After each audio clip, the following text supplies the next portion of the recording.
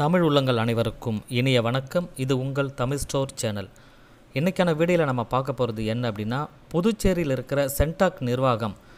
இவங்க வந்து ஒரு தகவல் வெளியிட்டிருக்காங்க. அதாவது தரவரிசை பட்டியலை வெளியிட்டிருக்காங்க.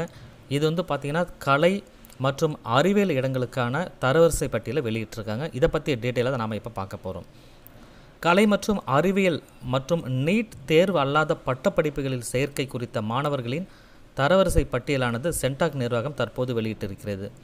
இது குறித்து சென்டாக் நிர்வாகம் தரப்பில் என்ன கூறியிருக்காங்க அப்படின்னு பார்த்தீங்கன்னா நீட் தேர்வு அல்லாத கலை அறிவியல் மற்றும் வணிக படிப்புகள் பிடெக் பிஎஸ்சி ஹானஸ் படி வேளாண்மை மற்றும் தோட்டக்கலை உயிரியல் அடிப்பிலான படிப்புகள் பிஃபார்ம் சட்டத்துறை படிப்புகள் இந்த படிப்புகளுக்கான பிஏ எல்எல்பி போன்ற பட்டப்படிப்புகள் சேருவதற்கான மாணவர்களின் வரைவு தரவரிசை பட்டியல் சென்டாக் இணையதளத்தில் வெளியிட்டிருக்காங்க. ஸோ டிஏஎன்எம் அப்படின்ற அந்த படிப்புக்கான தரவரிசை பட்டியல் ரேங்க் லிஸ்ட் மட்டும் தனியாக வெளியிடப்படும். இது கூட வந்து வெளியிடலை அப்படின்னு சொல்லி சொல்லியிருக்காங்க. ஸோ இதை நீங்கள் செக் பண்ணணும் அப்படின்னு சொன்னீங்கன்னா W W W dot Centac Puducherry dot IN அப்படின்ற இணையதளத்தில் போயிட்டு நீங்கள் டவுன்லோட் பண்ணி பார்த்துக்கலாம். உங்களோட ரேங்க் லிஸ்ட் என்னன்னு சொல்லி தெரிஞ்சுக்கலாம். இது எம்பிபிஎஸ் பிடிஎஸ்க்கு கிடையாது. ஆர்ட்ஸ் குரூப் சம்மந்தப்பட்டதுக்கு மட்டும்தான் இப்போ வெளியிட்டிருக்காங்க. அதாவது நீட் அல்லாத தேர்வுகள் அப்படின்னு சொல்கிறது நீட் அல்லாத படிப்புகளுக்கு மட்டும்தான் வெளியிட்டிருக்காங்க. இதில் ஏதேனும் குறைகள் இருந்ததுன்னா அந்த இணையதளத்திலே வந்து இன்னொரு லிங்க்கை கொடுத்துருக்காங்க. அதாவது short URL dot AT slash MSL N one அப்படின்ற ஒரு இணைப்பில் நான் இந்த லிங்க்கை நான் டிஸ்கிரிப்ஷனில் கொடுத்துருக்கேன். அதை செக் பண்ணி பார்த்துக்குங்க. இது வந்து பார்த்திங்கன்னா ஏழாம் தேதி அதாவது ஜூலை ஏழாம் தேதி மாலை ஐந்து மணிக்குள்ளே ஏதாவது ஆட்சேபனை இருந்ததுன்னு சொன்னால் நீங்கள் அதில் போய் தெரிவிச்சுக்கலாம் அப்படின்னு சொல்லியிருக்காங்க. ஸோ இதற்கான எஸ்எம்எஸ் மற்றும் மெயில் வந்து எல்லா மாணவர்களுக்கும் அனுப்பப்பட்டிருக்கு. அதை நீங்கள் செக் பண்ணிக்கங்க. அவங்களுக்கு எஸ்எம்எஸ் வரலான்னு நீங்கள் வெப்சைட்டில் போய் பார்த்துக்கோங்க.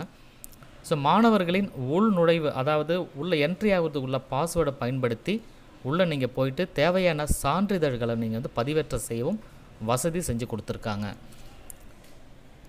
இதேபோல் புதுவையில் உள்ள அரசு மற்றும் தனியார் மருத்துவக் கல்லூரிகளில் எம்பிபிஎஸ் படிப்புகளில் சேர வெளிநாட்டு மாணவர்கள் ஜூலை நான்காம் தேதி முதல் பன்னிரெண்டாம் தேதி வரை விண்ணப்பிக்கலாம் அப்படின்னு அதில் தெரிவிச்சிருக்காங்க அதை நீங்கள் பார்த்துக்கோங்க. சென்டாக் நிர்வாகம் வெளியிட்ட நீட் தேர்வு அல்லாத படிப்புகளுக்கு தரவரிசை பட்டியல் பிடெக் பாடப்பிரிவில் மூவாயிரத்தி தொள்ளாயிரத்தி இருபத்தி ஓரு பேரும் கலை மற்றும் அறிவியல் படிப்புகளில் பத்தாயிரத்தி எட்நூற்றி ஐம்பத்தி ஓரு பேரும் இடம்பெற்றிருக்காங்க.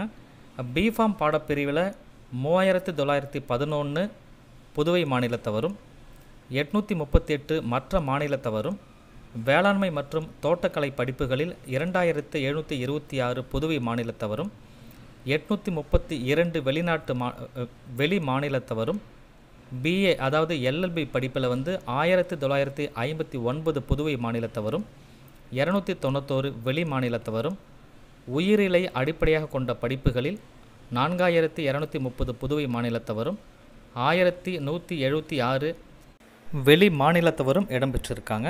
ஸோ இதை நீங்கள் தெரிஞ்சுக்கணும். முக்கியமாக சென்டாக்கில் அப்ளை பண்ண புதுச்சேரி மாணவர்கள் மற்றும் வெளி வெளி மாநிலத்தவரை இந்த டீட்டெயிலை தெரிஞ்சுக்கணும் அப்படின்றதுக்காக தான் இந்த வீடியோ நம்ம கொடுத்துருக்கோம். ஸோ இந்த வீடியோ பிடிச்சிருந்தா வீடியோக்கு ஒரு லைக் கொடுங்க. உங்கள் ஃப்ரெண்ட்ஸ் எல்லாருக்கும் இந்த வீடியோவை ஷேர் பண்ணுங்கள் இது வரைக்கும் நம்முடைய தமிழ் ஸ்டோர் சேனல் நீங்கள் சப்ஸ்கிரைப் பண்ணலைன்னா மறக்காமல் சப்ஸ்கிரைப் பண்ணிக்கோங்க. தேங்க்யூ ஃபார் வாட்சிங் தொடர்ச்சியாக நம்ம வீடியோ நம்ம சேனலை பார்த்துக்கிட்டே இருங்க. இது போன்ற வீடியோக்கள் தொடர்ச்சியாக உங்களுக்கு வந்துக்கிட்டே இருக்கும்.